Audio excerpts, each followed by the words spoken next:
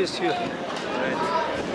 Normalde dışarısı sıcak şurası ama bura farklı. Kapalı alan yapmalar lazım.